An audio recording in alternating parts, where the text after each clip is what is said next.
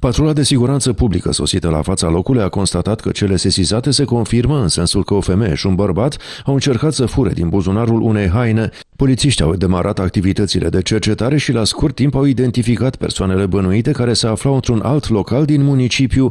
Ambele sunt din București. Bărbatul în vârstă de 38 de ani a fost reținut pentru 24 de ore și este cercetat sub aspectul comiterii infracțiunii de tentativă la furt calificat. Femeia de 36 de ani este cercetată pentru complicitate la furt calificat.